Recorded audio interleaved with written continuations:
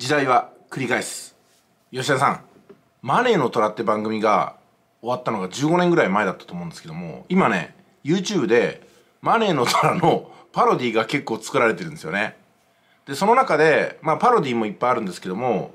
今のテクノロジーをマネーの虎に挑戦者として持っていったらどうなったかみたいなね、まあ、そんなやつもあってで虎の軍団が当時の印象的なセリフでなんか応酬するみたいなのがあってね。むちゃくちゃ面白いですね。